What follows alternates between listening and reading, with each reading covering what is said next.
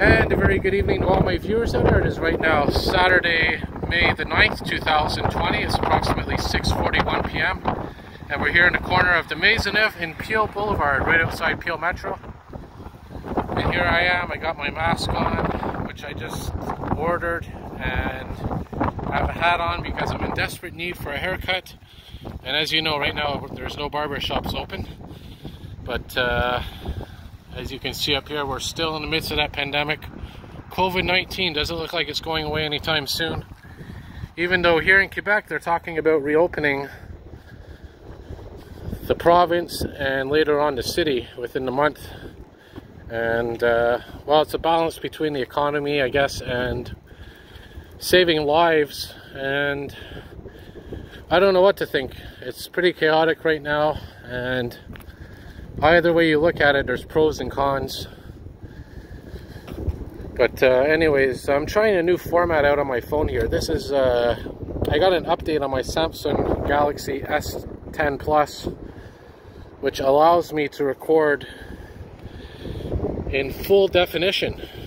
Uh, sorry, not full definition, but full screen mode. And I'm not really sure what this means. I'm trying it out here for the first time. And from what I can see, I'll explain it right now. Uh, usually on my phone when I'm recording, on the screen there's a black border on either side of the screen while I'm recording a video. But right now I don't see that border. And the whole screen right now is filled up. So I don't know if that means that basically more of the image is going to be recorded in the video. I don't know if it's going to be more of a, I guess you can say tunnel vision point of view. Because right now, I'll show you an example. Where my hand is right now, usually this is, there's a black border here on either side. But now it's actually recording in that spot where it's usually blocked off. So we'll see how it looks on YouTube. This is just a test video, so if it fails, well, at least I gave it a shot, right? What is there to lose? I always say, you know, life is about experimenting, trying new things, and you can't succeed if you don't fail a few times. And we're on the corner now of Drummond. There's Mount Royal to our north. And again, we are heading westbound right now here on de Maisonneuve towards Guy Concordia. I'm not going to stay out too long. I'm actually on my way to the pharmacy right now. Uh, Pharmaprix, also known as Shopper Drugs Mart, or sorry, Shoppers Drug Mart, has some good deals usually on the weekends. Look at this license plate, 1996. Well, I wonder when the owner of this car was born.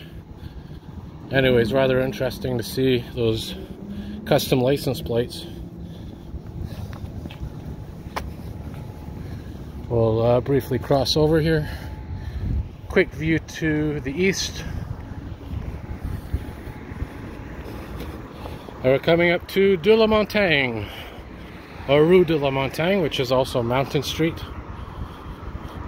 If you want to translate.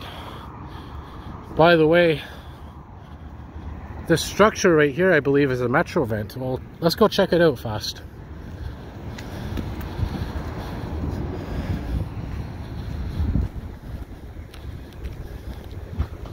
I believe it's a metro vent. From what other viewers have told me. I don't know if we're going to see anything. The vent might actually be on the top.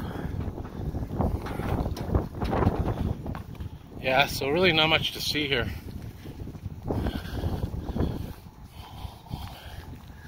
Very empty parking lot for a Saturday night. By the way, that tower right there that you see, I'll uh, show you here. That building right there is a CIBC building, which is a bank.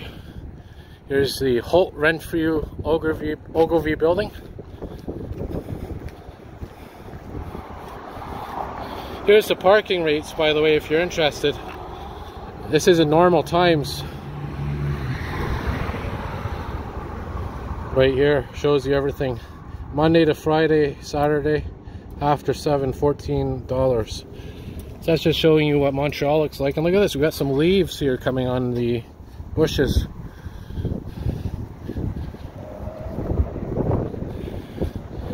And there, of course, is Mont Royal, the Mont Royal Broadcasting Tower. I'll zoom in for a moment to show you. And that's the Montreal lookout right there. And we'll quickly cross the street. And again, we're walking to Guy Concordia Metro Station.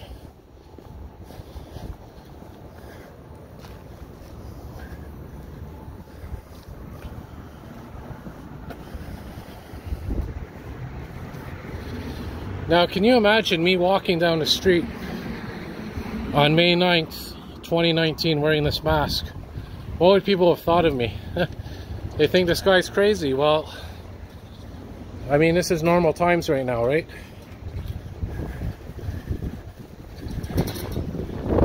These things here are payphones, in case you don't know.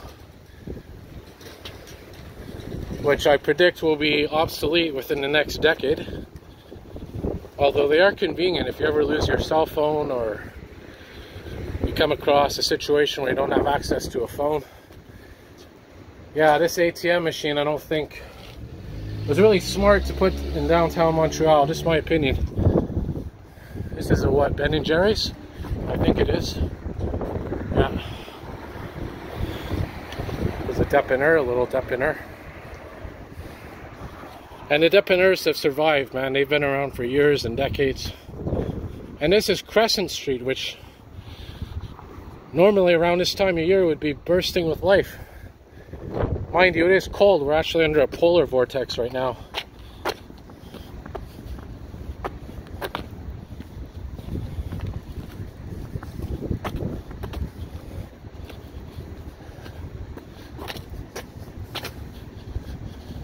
And Crescent Street, by the way, is pretty much the biggest street in Montreal in terms of uh, bars, restaurants.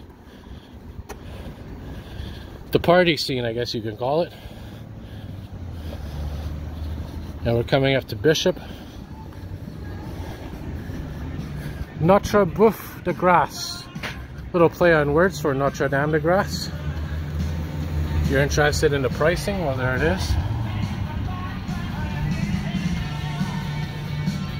little shot at the menu. Yeah, so I mean, these are areas that are usually targeted towards uh, tourists and whatnot. There's Concordia University, one of the buildings. I did a couple of math courses in here at one time.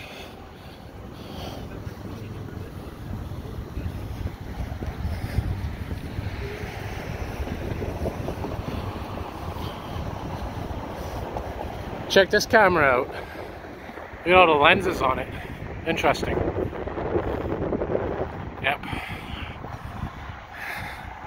And you can see the skies are actually pretty clear right now. So again, I'm heading towards the Pharmaprix here on the corner of Guy Concordia and St. Catherine Street, which I think is where I'm going to conclude the video. Here's McKay or Mackay Street, however you want to pronounce it.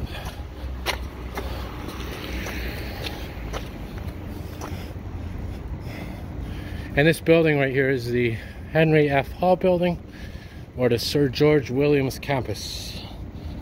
There's a bike which is in better shape than the bike I showed you earlier in the video.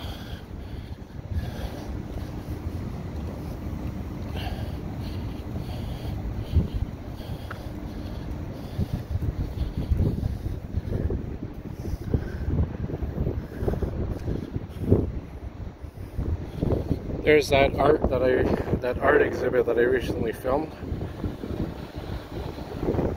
All right. And uh, if you're, depending where you are in the world, you may not have one of these, but these are bicycle traffic signals right here. Look at this. Specifically for cyclists on this bike path.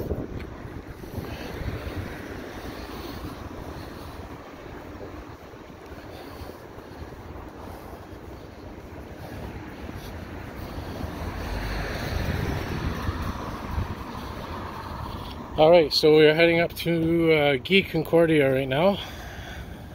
Sorry, I should say Guy Concordia Metro, specifically Concordia University and Rue Guy, or if you want to pronounce it to English, Guy Street.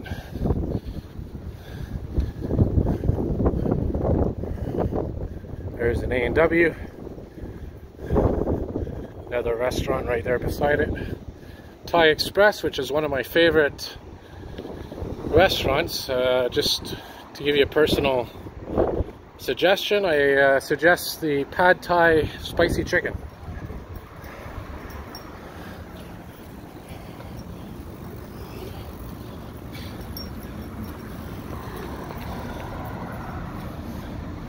So we're going to turn left here, which is heading in the south direction. Uh, this is where you can catch the 165 bus, which will take you to Cote Boulevard, which is connected to Rue Guy. And the uh, this bus takes you right to Cote which ironically, at one point, this used to be a tramway. And they're talking about bringing back that tramway. They used to go from here all the way to Côte-des-Neiges. And I know one of my subscribers, uh, German Corb, did a great video, a drive from Côte-des-Neiges all the way to downtown Montreal. And these articulated buses, I think are the closest things that you can get to uh, a tram or a trolley. So we are coming up now to uh, St. Catherine Street.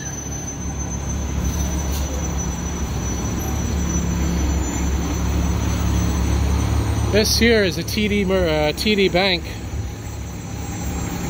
And it's actually in a building that used to be a bank. I don't know which bank it was. I think if you go to the front, you'll see there's some more people here with masks.